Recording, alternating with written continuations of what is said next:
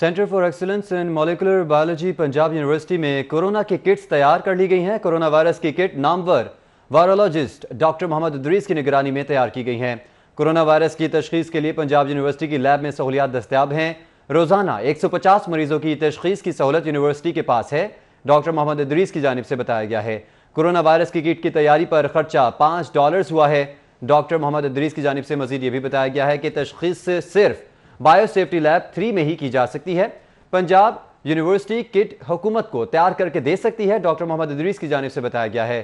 Corona virus کو مکمل ختم ہونے میں تین سال لگ جائیں گے۔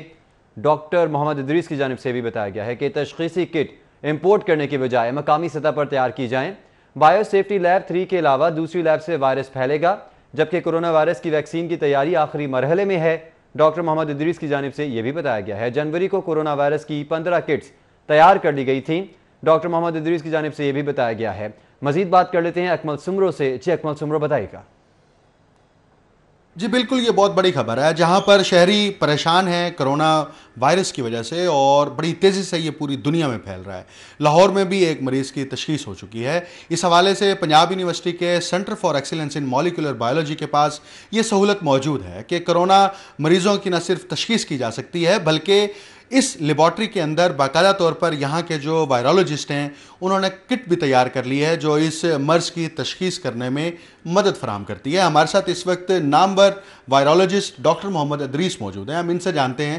ڈاکٹر صاحب، ایک تو یہ بتائیے کہ کرونا مرض سے متعلق بہت زیادہ اس وقت نہ صرف لوگ پینک ہیں، پریشان ہیں۔ مرض بڑی تیزی سے پھیل رہا ہے۔ پنجاب یونیورسٹی کے اس کیمپ کے اندر کیا سہولیات موجود ہیں جو کہ اس مرض میں مبتلا ہونے والے افراد کو سہولیات فراہم کر سکتے اگر یہ ہر لیبارٹری ٹیسٹ شروع کرے، جس کے پاس، جس کو ہم bio safety level three facility کہتے ہیں بی ایس ایل تھری اور یہ ڈبلیو ایچ او اور سی ڈی سی کی ریکمنڈیشن بھی ہیں کہ اس طرح کی لیبارٹری میں کرنا چاہیے، ہر لیبارٹری یہ نہیں کر سکتی۔ پہلی بات۔ دوسرے یہ ہے کہ اس کا آپ نے پوچھا کہ کاسٹ کیا ہے۔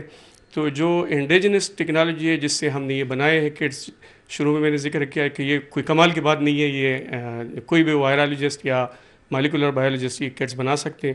تو اس پہ جو ٹوٹل خرچہ ہے وہ ہمارا تقریباً پانچ ڈالر آتا ہے۔ ابھی جو مہنگے کٹس چونکہ میڈیا پہ کافی خبریں آ گئی کہ کٹس نہیں ہے، یہ نہیں وہ تو اب جو ہمارا ہیلتھ کا بجٹ ہے وہ ایک کٹ کے خریدنے پہ وہ سارا خرچ ہو جائے گا۔ تو یعنی ہم یہ کہہ سکتے ہیں کہ ایک کٹ جو یہاں پر تیار ہوگی وہ ہزار روپے سے بھی کم قیمت پر تیار ہو سکتی ہے اور آپ حکومت کو یہ کٹس تیار کر کے دینے کے لیے بالکل یہاں سہولیات رکھتے ہیں۔ بالکل ایک ہفتے میں تیار ہو جاتی ہے جتنے ان کو کٹس چاہیے پانچ ہزار دس ہزار جتنے بھی چاہیے ان کے لیے جو پرائمرز ہے پروبز ہے یا ان کا جو ماسٹر مکس ہے وہ ہمیں باہر سے منگوانا ہوتا ہے۔ وہ ہم ان کو لکھ کے دے دیں گے، وہ جو ہی ہمارے پاس آ جاتی ہے تو ہمیں جسٹ ٹوئنٹی فور آورس چاہیے ان کو بنانے کے لیے، جتنے بھی کٹس چاہیے۔ وہ بالکل ہم ان کو جو اپنے سروسز ہے چونکہ یہ ایک نیشنل کاز ہے وہ فری آف چارجز ہم کر لیں گے اور یہ ہمارا فرض بھی ہے۔ اور یہاں پر کرونا مریضوں کی تشخیص کے لیے آپ روزمرہ کی بنیاد پر کتنے ٹیسٹ کر سکتے ہیں اور اگر اس کی کیپیسٹی بلڈنگ کرنی ہو تو حکومت آپ کو کس طرح سے سپورٹ کرے؟ ابھی ہم تقریباً سو سے ڈیڑھ سو ٹیسٹ آسانی سے کر سکتے ہیں جو ہمارے پاس اب ریجن موجود ہیں۔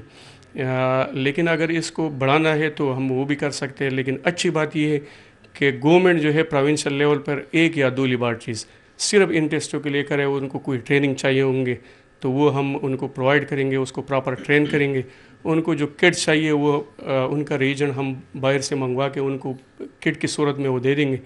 اور وہ اس جگہ پہ کرے کیونکہ ہر جگہ جب ٹیسٹنگ شروع ہو جائے گی تو یہ سب سے پہلے لیب ورکرس کو ہو جائے گی، پھر اس کے بعد ان کی فیملیز کو ہو جائے گی، پھر کافی سارا جو ہے وہ اگر نہ بھی پھیلنا ہے تو پھیل جائے گی۔